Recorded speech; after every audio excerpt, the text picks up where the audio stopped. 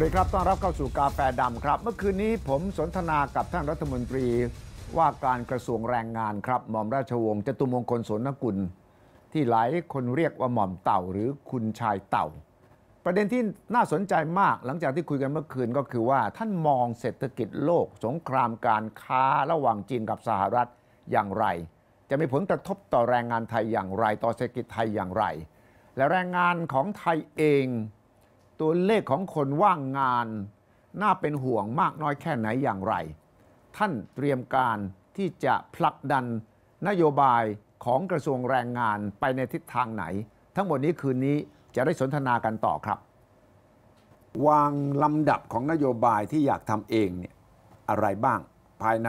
3 เดือน 6 เดือนข้างหน้าอยากเห็นอะไรการเปลี่ยนแปลงในกระทรวงแรงงาน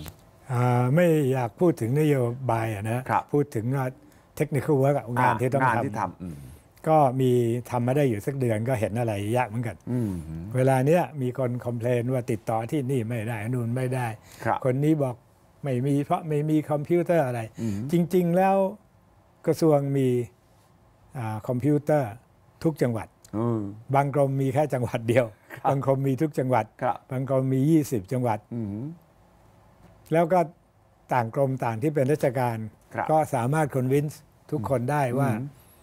คอมพิวเตอร์ของใครของมันอืมไอ้ผมเนี่ยคอมพิวคอมพิวเตอร์มันเหมือนถนนครับ ใครจะขับรถก็ซื้อรถขับสิเออนะครับอ่าฮะก็ตอนนี้ก็กำลัง เออ เข้าใจเรื่องนี้ปัญหา แล้วเขาเขาก็ชอบทุกคนทุกคนข้าราชการชอบเป็นนะเขาเรียกอะไร empire ของตัวเองอ่าสร้างเอ่อเนี่ยจังหวัดนี้กูทำอะไรเงี้ยสร้างนะอาณาเขตตัวเองสร้างอาณาเขตเนี่ยอ่าเขาก็ไม่อยากให้ใครเปิดอะไรได้ครับ วันนี้ผมก็บอกครับว่าแล้วนี่เดี๋ยวเอาอ่าโปรแกรมเมอร์ ซึ่งเขาดันไป computerize ทุกงานแล้วเออผมก็บอกว่าเอาโปรแกรมเมอร์มาอ่าเดี๋ยวผมจะให้เขาเขียนครับว่าทุกวันศุกร์อ่าฮะต้องส่งข้อมูลอะไรบ้างอืมเช่นอ่ารับสมัครงานที่คนเขาทำนั่นนะครับเอ้อบอกผมคุณว่าคุณใช้เวลายี่ห้านาทีแล้วกันเออผมก็จะให้เครื่องอ่าฮะตอบผมว่าอาทิตย์ที่แล้วเนี่ยครับมีใครสำเร็จ ใน 25 นาทีเท่าไหร่เออ list มาเท่าไหร่ไม่สำเร็จครับก็ต้องอธิบายมาว่าที่ไม่สำเร็จทำไมเออจำได้ไหมกรมศุลฯใน TradeSiam อะใช่20กว่าปีที่แล้วที่ทำไม่ได้อะครับถ้าผมเข้าไปแก้ให้อ่า TradeSiam ทำขึ้นมา เพียงเพื่อรู้ว่า งานของกรมศุลฯเข้ามาอืมแล้วออกเมื่อไหร่อืมผมก็เขียนเข้าไปในเครื่องครับว่าถ้ามันอยู่ในเครื่องเกิน 6 ชั่วโมงครับเด้งไปที่ห้องอธิบดี แล้วก็เรียกคนมาถามทำไมยังไม่เสร็จเอออ่าแต่ตอนนั้นอย่างนี้เวิร์กไหมตอนนั้น work work work ดีเออเอ work ดี work เออดีฮะครับอ่าแล้วนี้ต้องต้องมีอย่างอื่นให้ด้วยนะเออฮะอ่าไอ้อันเนี้ยเขาทำกันเสร็จแล้วจะเปิดเดือนพฤศจิกาครับประเด็นมันมีอยู่ว่า แล้วมีพวกเดียวหรือเปล่าที่มาเป็น OSS อะไรหางานให้ครับอ่าผมก็ บอกว่าผมไม่อยากไปลงไปทะเลาะต่อว่าอะไรหรอกอืมวันศุกร์ก็ส่งให้ส่งให้ประหลัดด้วยนะครับ ว่ามีงานเสร็จอืมกี่คนเออแต่ละคนใช้เวลานานเท่าไหร่ครับนะครับอืมอ่าแล้วก็ ถ้าแล้วก็ที่ไม่เสร็จมีกี่คนอืมอย่างเงี้ยนะครับพอเราเห็นแล้วก็ถามว่าทำไมไม่เสร็จอ่ามันก็จะรู้ว่าปัญหามีอะไรครับอีกอันหนึ่งซึ่งเราถามได้อ่าก็ถามบอกว่าไอ้เสร็จเสร็จน่ะอ่าฮะใครทำ ใช่ใครทำคุณทำเองหรือเปล่า คุณทำเองหรือเปล่า หรือมีคนคนเดียวเท่านั้นที่ทำกับคุณเออาถ้าเผื่อจังหวัดใหญ่เลย แล้วก็มีคนเดียวแล้วก็ต้องถามครับ เพราะว่าผมเคยคิดอยู่พักหนึ่งที่จะไปอืมใส่เสื้ออะไรของผมไม่รู้มีนั่นอะอ่าแล้วก็ไปยืนอ่าแล้วก็อ่าอ่าเคยส่งแบบไปให้แรงงานจังหวัดกรอกแล้วซ้ำทำไมก็ไม่รู้ครับ แล้วก็ไปถามว่าอา พอใจหรือไม่แบบฟอร์มอะอ่านะครับอ่าเพื่อพวกเนี้ยครับ แต่ตราบใดที่ไม่มีระบบคอมพิวเตอร์เป็นเบสที่จะจดข้อมูลเนี่ย โอ้ยเหนื่อยอยากมากมันเป็นวันห้าล้านสามล้านใบใครจะไปรู้อืมอืมอืมอ่าฝนตกแดดออกอะไรที่ไหน ใช่ครับครับ ตอนนี้ก็คืระบบระบบเขากำลังจะเข้าเขาไปจัดระบบเรื่องคอมพิวเตอร์ข้อมูลล่ะเขาเข้าเองอยู่แล้วอ่าแต่เขาไม่มีระบบไอ้เขาเรียกว่า management system ใช่ อืมนอกนั้นอะไรอีกทำเรื่องนี้เสร็จเรื่องอื่นที่กำลังจะทำเพื่อยกระดับมาตรฐานของกระทรวง ก็อ่าจริงๆอันที่เคยคิดว่าเคยพูดอยู่คนหนึ่งแล้วเนี่คยรับเรื่องอากองทุนกองทุนประกันสังคมมั้งที่1.7ล้านล้านอะครับความจริงเขาก็ invest ได้ return ดีนะฮะ4.5 ไม่เลวเชียวครับอ่าสำหรับเงินใหญ่อย่างนั้นน่ะอืมแต่จริง ๆแล้วอ่ามันมีวิธี ทำที่ เอะถ้าเราไม่รู้ว่าเราทำดีหรือเปล่า ครับ ก็น่าจะไป invest กับคนอื่น ซึ่งเขาทำดูดีอืมก็กำลังดูอยู่ ครับ ว่าจะเอ๊ะไปร่วมกับคนอื่น ให้มืออาชีพอื่นบริหารกองทุนนี้ไม่ใช่เขาทำของเขาเราทำเอาเงินใส่ด้วยกันอ๋อครับอืมนะอืมแล้วก็ต่างคนก็ต่างคอมเพลนได้ว่าทำไมมันไม่ดีครับนะมันก็จะช่วยให้มี outsider เข้าครับมาอย่างนี้ก็ดูดูครับครับ ตอนนี้เรื่องใหญ่ระดับโลกก็คือเรื่อง AI เรื่องหุ่นยนต์มาแทนแรงงานครับ รัฐมนตรีแรงงานท่านนี้มองประเด็นนี้ยังไง กลัวไหมว่าหุ่นยนต์ AI จะมาแทนแรงงานไทยจนกระทั่งเป็นปัญหาสังคมใหญ่สำหรับไทยอ่ามันคงเป็นปัญหาสำหรับทุกคนนะนะฮะครับอ่าอีอ่าตอนนี้ผมก็มันมีไอ้อะไรอะ อืม อ่า เรื่องตามดูตัวเลขอะครับว่ามันเกิดขึ้นสักแค่ไหนครับอืมซึ่งของเราเองได้เห็นภาพบ้างยังยังว่ายังไม่เห็นยังไม่เกิดอ่าอืมแต่ว่าเด็กจบมหาวิทยาลัยมาก็เริ่มจะหางานยากขึ้น หรือว่าตกงานโดยเฉพาะถ้าเรียนมาทางด้านสังคมศาสตร์เนี่ยแต่ว่าที่คนต้องการเนี่ยส่วนใหญ่เป็นทางด้านวิทยาศาสตร์ ทางด้านคอมพิวเตอร์ต่างๆ ฉะนั้นตลาดแรงงานกับมหาวิทยาลัย ระบบการศึกษาอาชีวะเนี่ย จะเชื่อมยังไง เพื่อให้เขาสร้างคนที่เหมาะกับแรงงานที่เราต้องการ ครับมันก็มีอย่างเช่นกองทุนประกันสังคมนะฮะครับอ่าแล้วก็กำลังดูตัวเลขอยู่ว่าอืมอันไหนมันอ่าไม่มีปัญหาครับอันไหนมีปัญหาแยะพวกนี้ครับอืมซึ่งแน่นอนว่าตอนเนี้ยเขาบอกว่าจบปริญญาเนี่ยสู้เด็กอาชีวะที่เก่งๆไม่ได้อ่าอันนั้นก็ถูกครับ เพราะว่าจริง ๆแล้วอ่า งานงานที่แยะอันหนึ่งก็คืองานที่ทำกับของอืมนะครับ แล้วก็เราก็อะไรอะแล้วพวกคนไทยนิยมคนจบปริญญาเอออาจจะเป็นเพราะอ่าอาชีวศึกษาได้ชื่อไม่ดีครับในโรงเรียน ผมไม่อยากพูดไม่กี่โรงเรียนนะครับก็ดูมันหลายโรงเรียนนะครับอ่าเจ้าชื่อเสียงไม่ค่อยดี พ่อแม่ก็ไม่อยากให้ลูกไปครับ ก็ผมก็ยังเสนอใน paper ที่ผมเขียนน่ะอ่าก็เปลี่ยนชื่อมันซะ rebrand rebrand ด้วย rebrand แต่ว่าเนื้อหาต้อง rebrand ด้วยเป็นไงวิทยาลัยอาชีพอ๋อเออเออเปลี่ยนเป็นวิชาอาชีพถ้าอยากเรียกอาชีวะครับอืมอืมอ่าแล้วก็อีกอันหนึ่งคือคนไทยชอบเรียน academic ก็วิชาการอยากจะให้เปลี่ยนเป็นว่าปีสุดท้ายเนี่ยครับมีคนมาเอาตัวเด็กแล้วครับเพราะสามปีรู้แล้วก็ทำอะไร แล้วปีสุดท้ายเนี่ยเรียนแค่สี่วันอีกวันหนึ่งไปทำงาน ครับ ได้เงินมากน้อยไม่เคยสำคัญ เพราะว่ามัน จะเรื่องฝึกงานอืมนายจ้างก็จะรู้ว่าเด็กคนนี้ใช้ได้ไหมใช่ แล้วก็พอจบได้ปริญญาก็เดินต่อได้เลยอืมดูดูอยู่ ครับ ก็ต้องไปคุยกับกระทรวงศึกษาสิต้องไปคุยกับกระทรวงใหม่กระทรวงอุดมศึกษานี่ครับ มีการคุยกันหรือยังครับอย่างอย่างครับยังแต่คิดว่าจะไปคุย ก็อ่าดูคอนเซปต์ดูแล้วก็ดูต่างๆอยู่เพราะว่าคำว่า labor คำว่าแรงงานเนี่ยกระทรวงแรงงานเนี่ยมันน่าจะหมายถึงเรื่องทรัพยากรมนุษย์มากกว่า มีแนวคิดยังไงครับว่า เราควรจะต้องปรับปรุงคุณภาพของบุคลากรในประเทศ จริง ๆ ก็อ่าไอ้วันเนี้ยก็ถามที่เรื่องว่าอ้าวฝึกอบรมทำไมต้องมีการฝึกอบรมของเราคำตอบก็คือ คนใหญ่ ๆ ฝึกครับอบรมได้เองหมด แต่ครับมันมีแรงงานอยู่เยอะที่ครับอยู่กับโรงงานเล็กครับฝึกอบรมไม่ได้ครับเราก็ต้องดูแลให้มีโรงเรียนฝึกอบรม การจัดฝึกอบรมอืม พวกเนี้ยนะครับก็เป็นวิธีที่ต้องทำให้มันพอดีกับดีมานอืมและแพทเทิร์นของอุตสาหกรรมของเราครับ แรงงานไทยในต่างประเทศก็มีความสำคัญไม่น้อยนะครับครับมีแนวทางยังไงครับ ที่จะช่วยเหลือส่งเสริมหรือว่ากระจายแรงงานไทยเราไปในประเทศต่างๆ ให้มีประสิทธิภาพมากกว่าที่เป็นอยู่ทุกวันนี้ รวมไปถึงเรื่องส่งแรงงานไปต่างประเทศ บริษัทต่างๆนานาที่เคยมีเรื่องอื้อฉาว ว่าไปหลอกคนงานบ้างต่าง ๆ เนี่ยมีทิศทางยังไงไหมครับ คือจริง ๆ ถ้าเบื่อราชการจะทำเองเนี่ยอืมมันทำไม่ได้หมดหรือมากหรอกอืมมันมีประเทศเล็ก ๆ เกาะจิบูติอะไรเนี่ยจิบูติเราครับในราชการจะไปทำได้ยังไงอ่าส่วนในเอกชนเนี่ยเขาก็เห็นที่อื่นเต็มเขาก็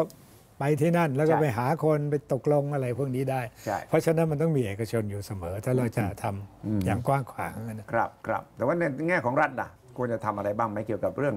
แรงงานไทยที่ไปต่างประเทศอ่า เวลานี้เราก็พยายามที่จะอ่ามีระบบอะนะครับแล้วก็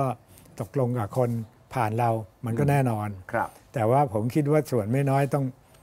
มันเหมือนกับเราจะค้าขายกับทุกประเทศด้วยรัฐบาลเนี่ยมันเป็นไปไม่ได้หรอกใช่ครับใช่ครับ แต่ว่ามันก็มีปัญหาเป็นระยะระยะนะแรงงานไทยในต่างประเทศ เดี๋ยวก็โดนนายจ้างหลอกไป เดี๋ยวก็โดนเอ่อโกงนะต่างๆนานานี่จะมี อะไรใหม่ไหมเกี่ยวกับเรื่องเหล่านี้ คือจริง ๆ ที่กลัวอันหนึ่งก็กลัวว่าครับไปกำหนดซะจนไม่ได้ทำอะอืมจะต้องวางเงินประกันจะต้องอะไรใช่ใช่อ่านายจ้างต้องจบฮาร์วาร์ดหรืออะไรอย่างเงี้ยมันอะไรก็ไม่รู้ พอราชการเขียนมันก็อย่างนั้น ตอนนี้ก็ยังเป็นเรื่องที่ปล่อยเสรีอยู่ในด้านที่ไม่ใช่ราชการนะนะครับถ้าราชการก็ทำอันอันหนึ่งให้มันมีอันที่มันทำได้ครับ แล้วก็ที่เหลือก็ยังปล่อยๆอยู่ต้องต้องค่อย ๆดู แล้วคิดว่าก็ต้องแบล็คลิสต์คนที่ทำแล้วไม่ดีอะไรพวกนี้ไป ใช่ เพราะมันเป็นเรื่องใหญ่ เพราะครับว่าส่วนใหญ่ที่โดนหลอกก็จะมาจากต่างจังหวัดแรงงานที่ไม่เคยไปต่างประเทศด้วยซ้ำไปเนี่ยแล้วเจอเงื่อนไขอะไรไปรู้อีกทีก็ไปโน่นต่างประเทศแล้ว ก็เขาก็ต้องเสี่ยงนะคนอย่างนั้นว่าให้ให้ offer เขาดีครับๆเขาก็ต้องเอาอะ อืมอืมอืมอืมครับคอรมอเศรษฐกิจ มีท่านนายกไปนั่งหัวโต๊ะด้วยเนี่ยครับรัฐมนตรีแรงงานอยู่ในรัฐมนตรีคอรมอเศรษฐกิจไหมอยู่อะต้องอยู่นะอยู่ครับ มองยังไงอะว่าตอนนี้มองดูเศรษฐกิจโลกมีปัญหาเยอะมาก สงครามการค้าอเมริกากับจีน ไม่มีท่าทีว่าจะจบ และเศรษฐกิจโลก IMF ก็บอกว่าถ้าสงครามการค้ามันยังยืดเยื้อไปเนี่ยนะโลกอาจจะเข้าขั้น recession เลยนะถดถอยเลยนะ ไทยเราก็จะกลายเป็นเหยื่อของสถานการณ์นี้ด้วย ในฐานะที่ทำเรื่องคลังเรื่องแบงก์ชาติเรื่องเศรษฐกิจ เป็นกูรูด้านเศรษฐกิจมาตลอด มองยังไง แน่นอนมันก็จะเชื่อมกับแรงงานด้วย มองภาพรวมยังไงว่าไทยเราควรจะวางตัวยังไงในภาวะที่เศรษฐกิจก็ยุ่งการเมืองก็ยุ่งการทูตตั้งแต่โดนัลด์ทรัมป์ขึ้นมา มันก็ปั่นป่วนพอสมควร ถ้าเป็นรัฐประธานาธิบดีพรรคเดโมแครตอาจจะไม่ซัดกับจีนแรงขนาดนี้ และจีนก็ยอมไม่ได้ง่าย ๆ แต่ขณะเดียวกันเนี่ยเราเนี่ยจะหวังพึ่งตลาดจีน หวังพึ่งตลาดอเมริกา เราอาจจะได้ประโยชน์บ้าง ถ้าสองประเทศนี้ไม่ซื้อขายกันเนี่ยแต่เงินบาทก็แข็งเป็นบ้า ส่งออกตอนนี้ก็มีปัญหา พอเงินหยวนเนี่ยอ่อนตัว การท่องเที่ยวของจีนก็อาจจะกระทบ มองภาพรวมยังไงในฐานะเป็นกูรูด้านเศรษฐกิจ ตอนนี้ คุณชายจตุมงคล happy กับงานที่ทำอยู่ ก็อ่าดีใจนะครับไม่ได้ขอนะ แต่ว่าได้ช่วยคน 40 ล้านอ่าใน 70 ล้าน ซึ่งอยู่ sector ที่ล่าง คือจริง ๆ มันต้องดูเรื่องใหญ่ก่อนครับดูว่าใครจะเป็นใหญ่ใน 10-20 ปีเอออ่าเออผมก็ base on จีนนะนะครับเพราะโมเดลของอเมริกานี่เราเห็นแล้วมันเป็นอะไรเออเดี๋ยวมีดี เดี๋ยวมีเลวครับแล้วก็จีนมันเปลี่ยนจากคอมมิวนิสต์รัฐเป็นเจ้าของหมดครับ จนมาเป็น Mixed Economy อ่า Social Capitalist Economy อ่าฮะได้แรงทั้งจากรัฐรัฐทำอะไรดีครับเอาอันนั้นครับเอกชนทำอะไรดีก็เอาอันนั้นครับผสมกันผสมอยู่ค่อนข้างดีอืมแล้วคนมันก็มากกว่าอเมริกาทั้งแยะใช่ไหมอเมริกาสามร้อยใช่จีนมันตั้งพันสี่ครับแล้วจีนก็ต้องใหญ่กว่าอเมริกาแน่อืมทีนี้มันจะว่าใหญ่โดยวิธีเอาเปรียบก็ได้ เพราะว่ามันใหญ่ มันมีคนแยะครับมันก็ทำของเยอะแยะมากเลยครับที่ไทยทำไม่คนอื่นทำไม่ได้อะครับอ่าเช่นให้ currency อ่อน มัน accumulate ดอลลาร์พันธบัตรไปตั้ง3 trillion 3 ล้านล้านใช่ trillion ในขณะที่อเมริกันไม่ได้โต้ตอบ แล้วก็หลงอยู่ว่า free trade ดีใช่ free trade นี่หยุนก็รู้ฮะมัน too good to consumer เห็นไหมใช่ to supplier ใช่หลังจากนั้นมันแสดงไม่ได้หรอกว่าดีไม่มันใช่ต้องขน มันคนหนึ่งมันต้อง go out of business เอออ่าฮะอะไรเอ่ยอ่าโลกจริง ๆ มันไม่ได้เป็นอย่างนั้น ครับ แล้วไอ้อเมริกาใน 20 ปีที่แล้วมาข้อสมมติของประธานาธิบดีทุกคน คือว่า free trade is good ใช่ absolutely ใช่มันไม่จริงครับมันมีเงื่อนไขอืมทรัมป์มันขึ้นมาเนี่ยมันไม่ได้บอก America first มันไม่ได้บอกว่า free trade is good มันเอาของเอาของกูเออเอิ่มมันก็แรงครับทามบอกว่าแล้วเราคิดว่า ใครจะไปยังไง ไม่อยากพูดว่าใครชนะครับ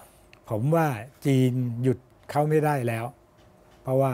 หยุดจีนไม่ได้แล้วหยุดจีนไม่ได้เขาแล้จะวโตเร็วเขาแล้วโตแล้วสังทุกอย่างเวิร์กกำลังพอดีพอเหมาะครับอ่าอเมริกาผมว่าก็ขึ้นขึ้นรุ่มรุ่มดอนดอนอืมๆอ่าอเมริกา มาเป็นเศรษฐกิจใหญ่ที่สุดในโลกปี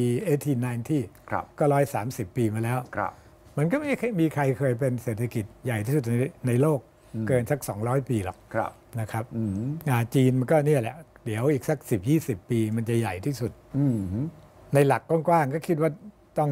ลุกทูชายนาครับอยู่ใกล้อยู่แล้วครับอืมคิดว่าจีนน่าจะสำเร็จอืมอเมริกาก็จะต้องเป็นเหมือนอังกฤษกับยุโรปอะอ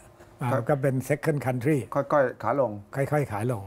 อะไรอย่างนี้ยครันะบอ่าแต่ไม่ลงมากนะ เพราะว่าอเมริกามอด r n ฟรีเทรดของอเมริกานี้ทำให้มี productivity สูงมากครับอืมแต่ว่าคนที่จะ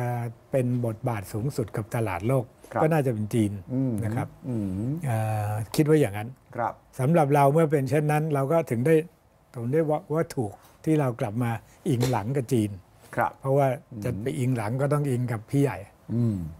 คิดว่าถูกอืมครับ แต่ว่ามันช่วงเนี้ยมันปั่นป่วนมากครัเศรบษฐกิจ ไทยเราจะตั้งรับได้ยังไง วิธีการที่ไทยเราก็ยิงหลังกับจีนนี่ชัดเจนที่ที่ว่าเนี่ยนะดูก่อนว่าตอนจบมันจะเป็นยังไง แต่เราไม่รู้เนี่ยจบตอนมันจะไอ้ตอนจบจีนเป็นใหญ่เออฮะแล้วเราก็น่าจะพิงจีนใช่ระหว่างนี้เราก็ถ้ารู้ว่าจะไปทางนั้นเนี่ย เราเล่นอะไรเราก็เล่นแล้วมันเอียงไปมันไหลไปทางนั้นใช่ไม่ใช่อยู่ดีๆ ไป เอ่อเข้าอเมริกาไม่เอาจีนอะไรอย่างเงี้ยนไม่ได้ไม่ได้ใช่ไหมฮะฉะนั้นในฐานะรัฐมนตรีแรงงานตอนนี้เนี่ยติดตามพวกไอ้ macroeconomics มากน้อยแค่ไหนเพื่อจะป้อนแนวคิด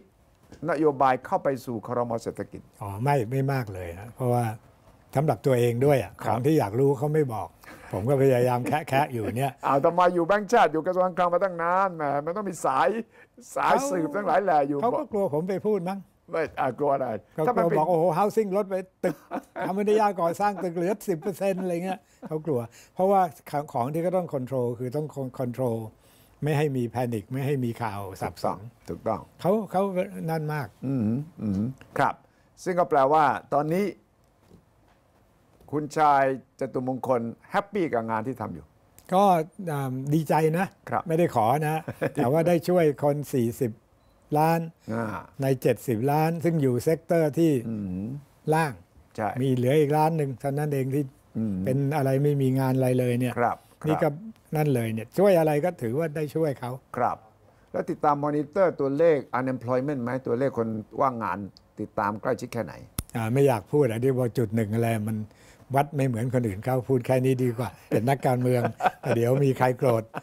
ที่เราจุดหนึ่งอะเราอ่าจริง ๆ เกือบสองเกือบสองเกือบสองเกือบสองถ้าว่าวัดเหมือนคนอื่นเขาครับอืมที่ทำไมวัดไม่เหมือนคนอื่นเขาอืมก็ดันคุยว่าจุดหนึ่งมา20 ปีแล้วไงใครจะเป็นคน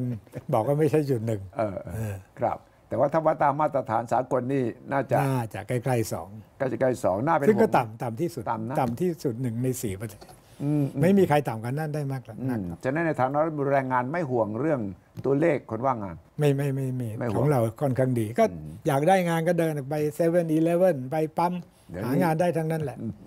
ต่ำมากอ่าจริง ๆ ต่ำมาก ต่ำเกินกว่าที่พอดีเศรษฐกิจมันยังไม่บูมอะครับอ่าถ้าเศรษฐกิจบูมแล้วต่ำขนาดนี้ก็อาจจะมีปัญอืหา มครับ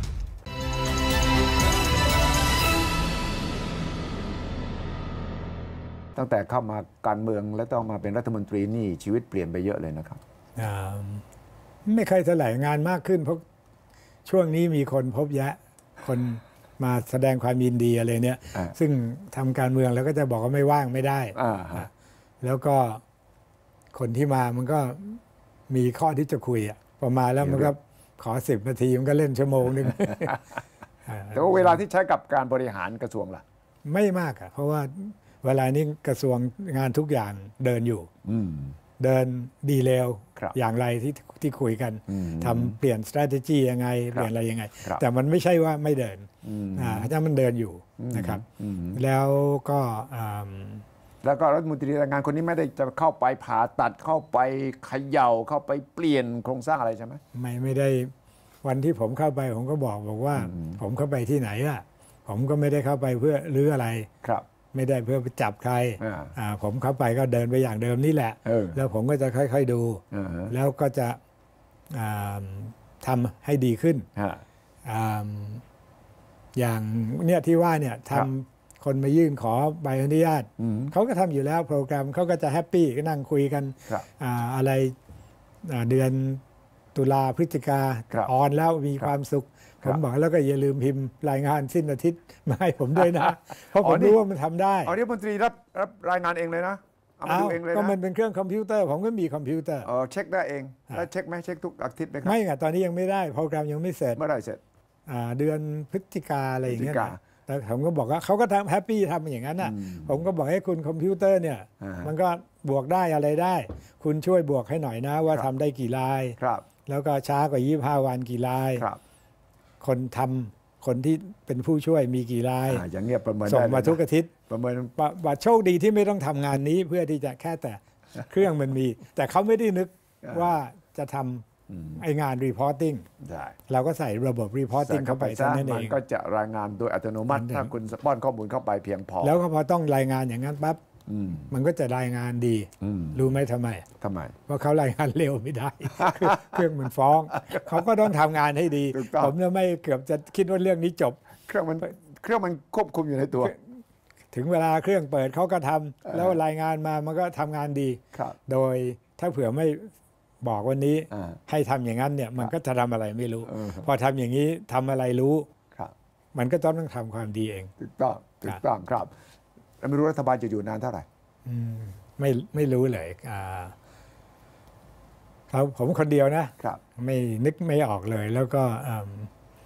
ก็ยังไม่เห็นโจทย์อ่าที่จะทำให้มันแตกนะยังนะยังแล้วก็เรื่องศาลมีอะนะครับ ต้องพูดเรื่องจริงๆอะครับใช่ไหมทุกพักที่มีคดีในศาลครับคดีซึ่งผมก็อยู่กฤษฎีกามาตั้ง 30 ปีนะอ่าฮะแล้วเป็นวิศวะด้วยนะ อ่านอ่าฮะกฎหมายครับอ่านกฎหมายเก่งถ้ามีกฎหมายให้อ่านครับหาเองไม่เจอหรอกอ่า